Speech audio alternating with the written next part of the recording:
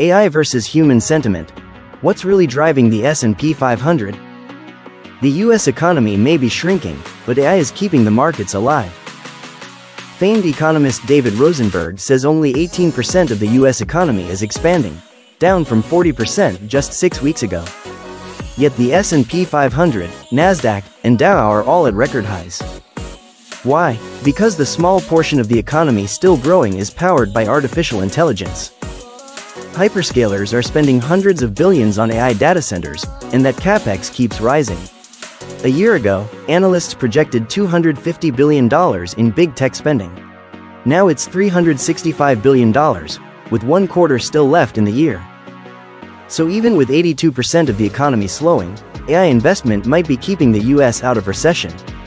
This is an unparalleled market, where human sentiment meets artificial intelligence. We'll show how technicals reveal where we stand in this historic cycle, and how long the rally could last.